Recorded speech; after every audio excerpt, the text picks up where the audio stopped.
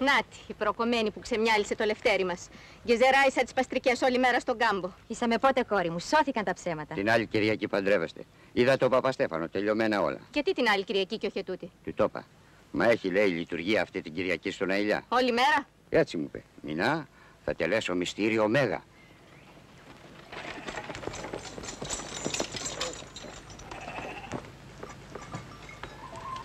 Γεια σας. Καλώς τον καπετάνιο. Ο γιος σου είναι ο Λευτέρης, δεν είναι εδώ; Εδώ είναι. Ε, Κατέβηκε σήμερα στη χώρα. Όπου να είναι έρχεται. Θα πάρετε ένα τσιπουρό να σας στρατάρω. Εν ώρα υπηρεσίας ποτέ. Και τι υπηρεσία έχεις καπετάνιο στο φτωχικό μου; Διάβασε.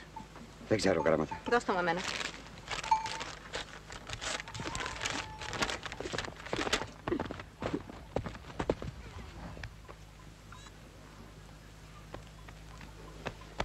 Γεια σας. Πώς από εδώ; Για σένα ερχόμαστε, Λευτέρη. Για μένα; Ναι, έχω ένταλμα βιαίας προσαγωγής. Τι θα πει αυτό; Αυτό θα πει πως πρέπει να υπηρετείς στο στρατό, Λευτέρη. Πήρα αναβολή. Δύο χρόνια. Εξαιτίας που ήμουν άρρωστος από τις θέρμες. Ναι, μα το χρόνο απάνω έπρεπε να ξαναπαρουσιαστείς. Το Υπουργείο σου στείλε έγγραφο συστημένο με το ταχυδρομείο. Να, ο πατέρας της Βιενιός που είχε το ταχυδρομείο θα ξέρει. Είναι αλήθεια αυτό, Βιένιο. Δεν ξέρω. Τα ανοίξατε. Γιατί δεν μιλάς; Στο διάβασε ο πατέρας σου. Και μου το κρύψετε για να μην φύγω, να μείνω εδώ και να με παντρευτείς. Και ύστερα να βάλεις μέσα με τον μπάρμπα στον καρατζά να παλαγώ. Έτσι δεν είναι; Ναι.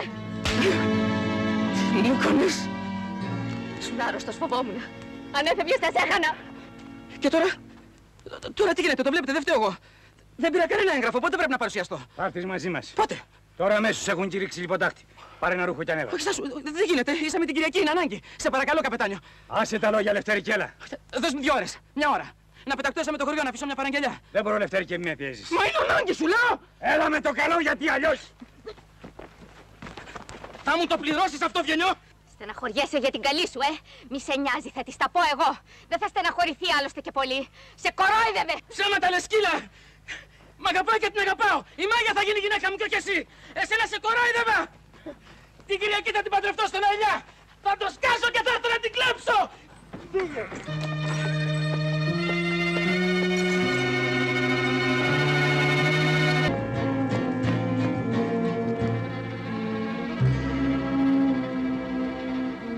Τι γυρεύεις εδώ; Με έστειλε ο Λευτέρης. Ο Λευτέρης; Ναι.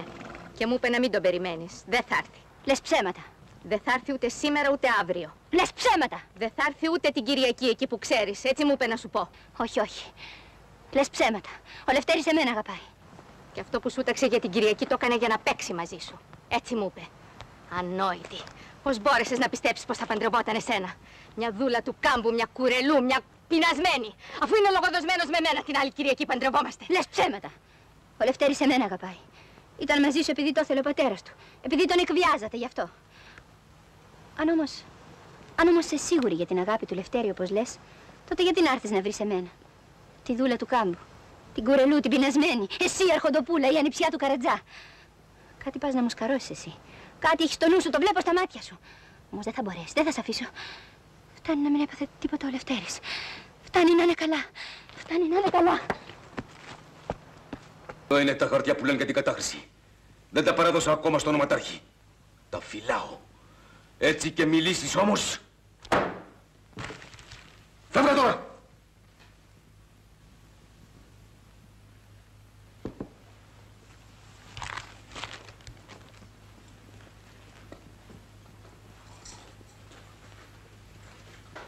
Ανοιχτό. Ας όψετε η αδερφή μου, η μάνα σου. Χαρά στον άντρα που βρήκε να αγαπήσει. Όλη η μέρα στο καπηλιό.